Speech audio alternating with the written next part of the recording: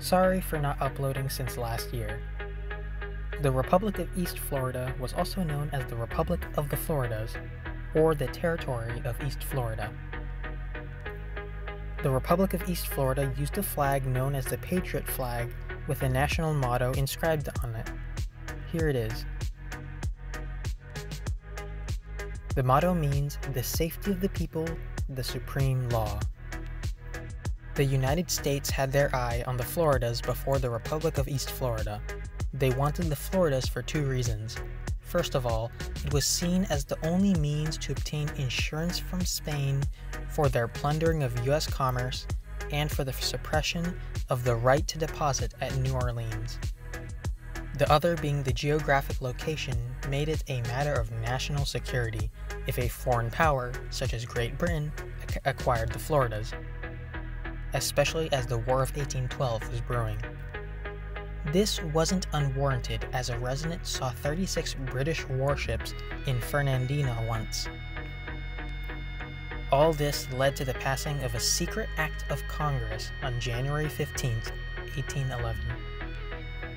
In January of 1811, General George Mathews and Colonel John McKee were appointed as commissioners to carry into effect provisions of the Secret Bill of Congress enacted on the 15th.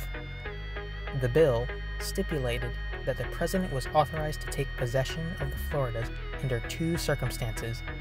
First, in case any arrangement has been made with the local authority of said territory to deliver it to the United States. Second, being in the event of any attempt by any foreign government to occupy any part of the territory. Now, Colonel John McKee did not ever act under the commission, but General George Mathews did take to Florida and lived in a home in St. Mary's, Georgia.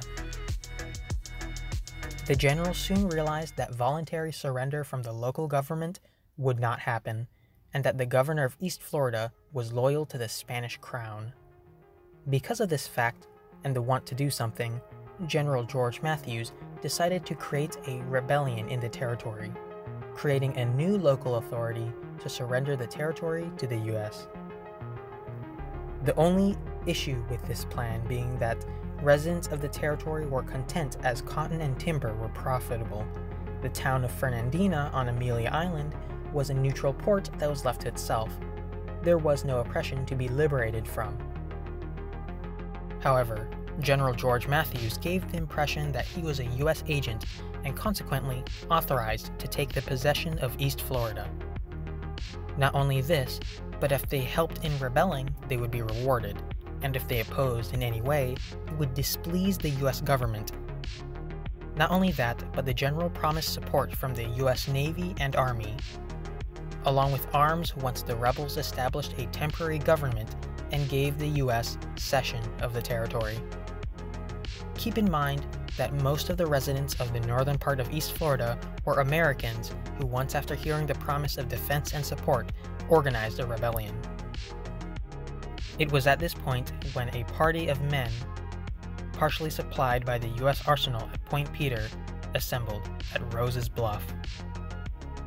It was around the 14th of March, 1812, when they raised the Patriot flag, or a standard of revolt, against the government of East Florida they selected temporary officials under the direct supervision of General Mathews himself, as he was present in person. General McIntosh was made governor, and Colonel Richard Ashley made military chief. The rebels went down to Fernandina to attack it. Accounts of the party range from 250 to 357 men, with not over 50 being Spanish subjects. The rest were volunteers from the US, Fernandina was under the command of Don Jose Lopez and was defended by a garrison of only 10 people. On the 15th, they were sent an ultimatum by Colonel Richard Ashley, but Fernandina was not surrendered. On the morning of the 16th of March, nine U.S. gunboats landed in front of the town, with the official reason being to stop smuggling. Their landing, however, was hostile with guns loaded facing the city to cover the landing of the Patriots. They were under the command of Commodore Campbell. When Don Jose Lopez saw that the Patriots were supported by U.S. forces, he surrendered Fernandina to the Patriots by marching out with his 10 men and giving up his sword. The next day, after a U.S. detachment from Point Peter arrived, the Patriot government then surrendered the town to General Matthew on behalf of the U.S. government.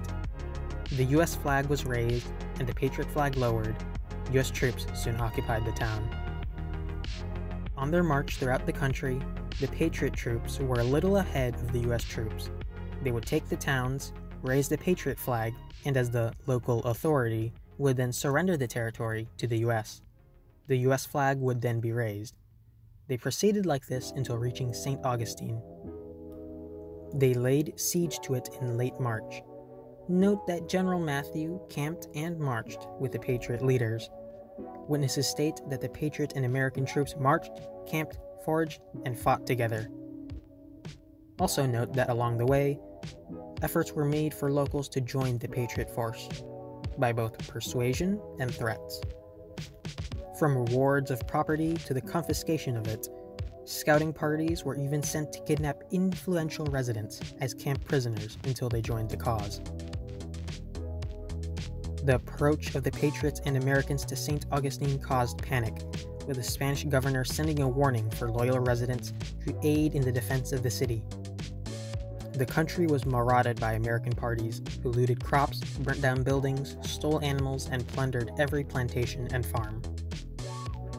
Know that when the US government was informed of the actions of General Mathews and the US troops in East Florida, they revoked the powers of General Mathews and replaced him with Governor Mitchell of Georgia to withdraw the US troops.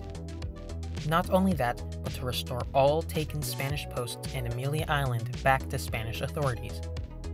Note that General Mathews took this personally and went to DC to confront the president, but he died of illness in Augusta on his way. In a letter from then Secretary of State James Monroe, Governor Mitchell was instructed to protect the interests of those who helped General Mathews and to come to an understanding with the Spanish governor of East Florida. The province was finally evacuated of US troops in May 1813.